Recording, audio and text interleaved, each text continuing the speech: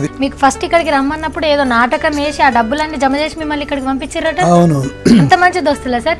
అయ్యో నా ఫ్రెండ్సే ఇప్పటికీ వాళ్ళు చూస్తేనే ధైర్యం నాకు. అంతా కూడా. నాకు ఇద్దరు వ్యక్తులు ముగ్గురు వ్యక్తులు చూస్తే నాకు ఎప్పుడు అలర్ట్గా ఉంటుంది సమస్య వస్తే. నోటి సమస్య వచ్చింది దాసనారాయణరావు గారు ఏంటి? అని ఆయన గురించి అనుకుంటా. నెక్స్ట్ రాఘవ్ గారు ఆయన చెప్పుకుంటా. నెక్స్ట్ నా ఫ్రెండ్స్. హ్మ్. మనసిప్పి వాళ్ళతో మాట్లాడదు ఇదిరా ఇదిరా అని. అని వాడు సరి చేస్తారు దానికోసం ట్రై చేస్తారు. సో నాకుండే గొప్ప ఎస్సెట్ దాసనారాయణరావు గారు రాఘవ్ గారు పాలకొల్లు. పాలకొల్లు నా ఫ్రెండ్స్ మా మదర్ ఫాదర్ విష్ ఎప్పుడు ఫాలో చేస్తుంటా. నా ఫ్రెండ్షిప్ మాత్రం అటువంటిది. నేను ఫస్ట్ నా గురుగారిని అడిగా పాల్గొని వచ్చినప్పుడు. సార్ నేను హీరో కింద చేయాలని ట్రై చేశాను నాటకాల్లో వేస్తుంటాను అని అనుకొని గురువుగారిది తాతమ్మ రిలీజ్ అయింది. హ్మ్. అప్పుడు దాకా మన ఆర్టిస్ట్ అల్లు గారి నాటకాలు కూడా అక్కడ వచ్చేసేవారు.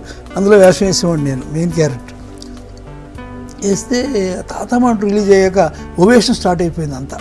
అమ్మా ఇంత ఓవేషన్ అంటే ఆర్టిస్ట్ అయితే ఒకే క్యారెక్టర్ చెప్పొచ్చు. డైరెక్టర్ అయితే ఇన్ని క్యారెక్టర్లు చెప్పొచ్చు. ఇన్ని కథలు చెప్పొచ్చు డైరెక్టర్ అవుదామని గురువుగారు వచ్చిన వెంటనే నేను గురువుగారిని రిక్వెస్ట్ చేసి సార్ ఇద్దరు చేద్దాం అనుకుంటున్నాను సార్ అంటే సరే బీకామ్ పూర్తి అయ్యాక రా నువ్వు అన్నారు. ఓకే అని ఇది రెండే అంశాలు ఏంటి ఇక్కడ అనుకున్నా. ఏంటంటే మా ఫాదరు కూడా సినిమాలో వెళ్ళాలని చెప్పాను నేను. సరే నువ్వు వెళ్ళు దాని ఏమన్నా కానీ మన కోడి వంశంలో ఎవరు కూడా డిగ్రీ చదవలేదు. అందుకు నువ్వు డిగ్రీ పూర్తి చేసి నాకు డిగ్రీ ఇచ్చి నువ్వు వెళ్ళిపోను గారు కూడా అదే మాట మాట్లాడారు. సో డిగ్రీ పూర్తి చేసి కొన్నాను. ఆ రోజు రిహార్సల్ జరుగుతుంది.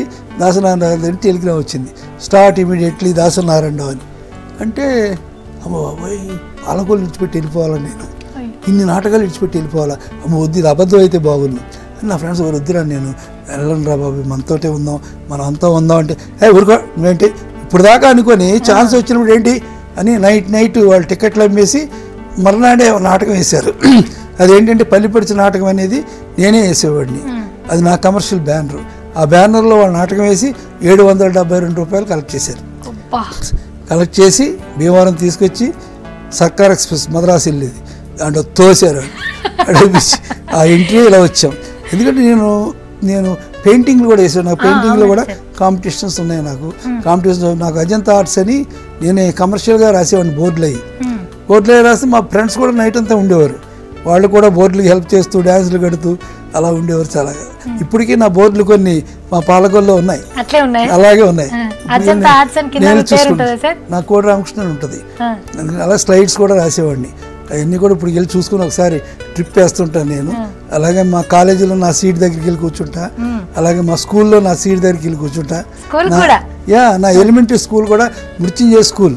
అది ఎక్కడుందో చూసి వెళ్ళి ఒకసారి దాని బోర్డు చూసి వస్తా ఐ ఎంజాయ్ మై ఎందుకంటే ఏ మనిషికైనా ఏ కొలతకైనా మనం కొలాలంటే జీరో నుంచి కొలాలి కానీ వంద నుంచి కొలలేం. అందుకని నా పాలకొల్లో ఎలా ఉండేవాడిని అనుకుంటే ఒకసారి ఇప్పుడు ఎలా పెరిగాను అనేది మనకు అర్థమవుద్ది. అంతే. So it's a calculation of sentiment